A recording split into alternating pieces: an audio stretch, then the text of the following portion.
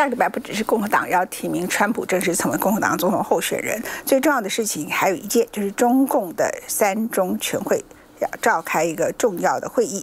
在三中全会召开之前，中国的国务院总理李强明白的表示，中国现在的经济困难度的确很大，需要加大力气。才能够解决承认现在中国经济的困境，而中国经济困境呢，在六月份的贸易里头，很明显的看出来，它虽然用特殊的方法使它的出口成长大幅的成长，但是呢，它的进口还是下降，也就是其实信心是不足的。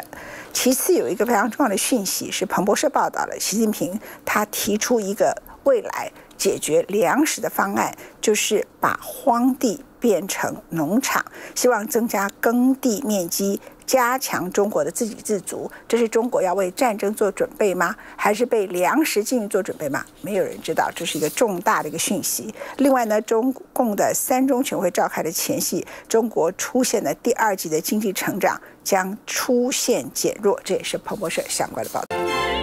大概在三个月之前。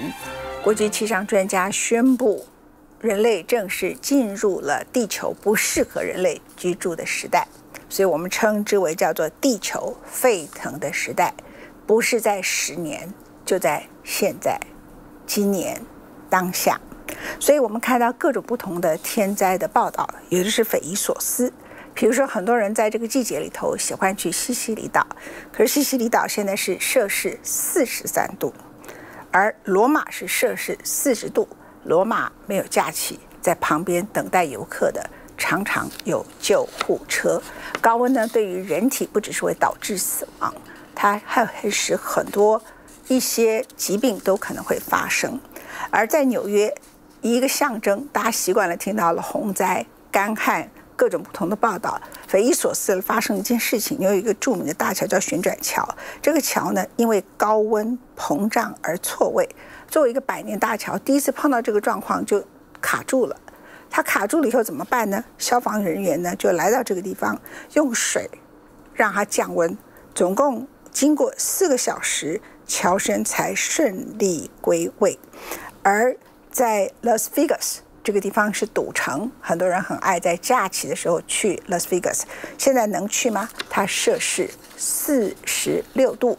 另外，台积电想要去的 Arizona 最近是摄氏四十五度，它能施工吗？整体而言，我们来到一个地球沸腾的时代，你觉醒了吗？或许要等到你深受其害的时候，才想起我们今天所说的话。Έτσι αναγκαστήκαμε με, σε συνεργασία με την υπηρεσία και διαπιστώσαμε ότι το έλλειμμα αυτό ε, είναι γύρω στις 650.000 κυβικά ε, μέτρα για το ε, 2024.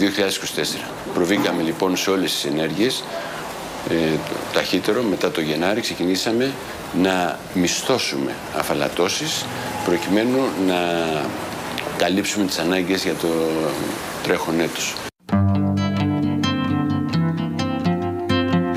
每年此时，有数百万的游客前往希腊，欣赏其古老的遗址、原始的海滩和碧绿的海水。但气候暖化、不稳定的降雨和野火肆虐，威胁着希腊最重要的经济命脉。Ότι η κλιματική αλλαγή θα χτυπήσει και εμά την πόρτα, θα χτυπάει σε όλο τον κόσμο. Και αυτό, αν συνεχιστεί, βοήθα Παναγιά μου. 在意大利遭逢热浪袭击，萨丁岛和西西里岛最高温度达四十三摄氏度，意大利中部和南部三十八至三十九摄氏度。七月十一日，罗马气温升至摄氏四十度，救护车在景点附近随时待命。气候专家表示，意大利南北地区同时出现极端天气的状态，未来会越来越频繁。Beryl blasted ashore early Monday as a Category 1 hurricane, unleashing fierce winds, torrential rains, and dangerous storm surges on the coast. The hurricane battered downtown Houston. It quickly flooded roads and highways in the area. 飓风摧毁了房屋还有电线，德州数百万户在断电的情况下承受着酷热之苦。You have power? Nope, I don't. I'm running a generator. 不但要清理飓风狂扫过后的残局，还要应付新一波的高温酷暑。休斯顿的气温飙近四十摄氏度，但这几乎已是美国多地近期的常态。纽约一座一百二十六年历史的旋转大桥因热膨胀导致桥身错位卡住，当地消防队员向桥面浇水降温，经过四小时，桥身才顺利归位，但已造成了大塞车。而在梅西多地因热浪野火的风险加剧，内华达州赌城拉斯维加斯连续五天最高温度超过摄氏四十六度。To help, emergency officials have been on the streets checking on people living in homeless encampments and handing out water. This is being called the most extreme heat wave since the National Weather Service began keeping records in Las Vegas in 1937.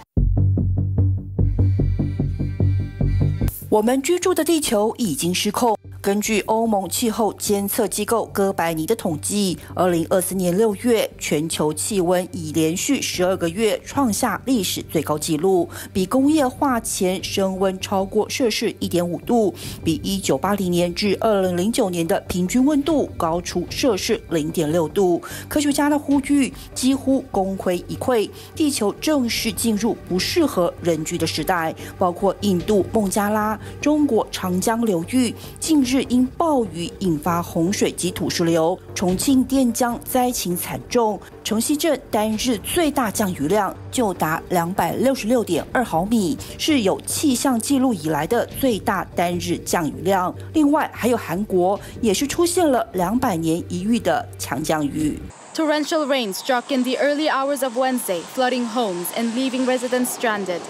In Chungcheongnam-do Province, roads were flooded, and one person died in the elevator of a building. 一场大雨，韩国发布了五十多个地区的土石流警戒，三千五百多人被紧急疏散。而气候专家表示，炎热的天气在七月份恐怕将再打破纪录。而相对于北半球的热到爆，南半球则是寒潮来袭。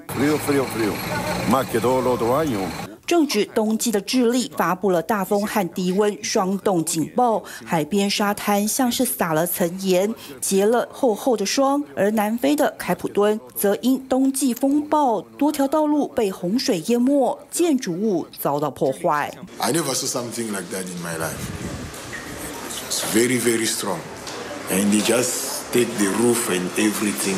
The 12-month average as a whole, it's only a, a temporary you know, crossing of this mark, it doesn't mean that we have breached that limit set by the Paris Agreement, but it, it clearly shows that we are getting closer to this limit um, as the, the, the climate continues to warm. So yeah, it's a stark warning that um, that again the, the climate it, it is warming rapidly. 二零二四年六月，全球平均气温摄氏十六点六六度，不但比过去三十年六月的平均气温高出了零点六七度，并且打破了二零二三年所创下最热六月的纪录。七月十一日，超过六千万的美国人收到国家气象局的高温警报。根据美国政府公布的资料显示，近年来高温导致的死亡人数逐步上升。二零二二年约一千。七百人，二零二三年便升至超过两千三百人。另外，高温也会造成心理的负面影响。Studies have shown that when external temperatures rise, oxygen levels in the blood drop, and the less oxygen the brain has, the less able it is to think clearly. That's exacerbated when nights are hot too. People who sleep badly are more irritable, less focused, and generally worse at remembering things. Excess heat even affects moods and mental disorders. It causes changes in levels of the neurotransmitter serotonin, for example, which is linked to anxiety, depression, and aggression. One possible explanation for why violence becomes more common during heat waves. 世界卫生组织发现，极端温度在全球造成的死亡人数比任何其他与天气相关的因素都多。这不仅仅是洪水、野火、台风或者是干旱等风险。These hot months mean hotter heat waves. It means much more heavy rainfall events with devastating floods as a consequence, which do violate the right to life, the right to housing. the right to a free culture and, and social um, and life for many, many people. And that is why we care about climate change. And that is why these records are so worrying. 然而，对于气候科学家的忧虑，你在乎吗？还是得等到天灾降临才会惊醒？怕的是，届时一切都已太迟。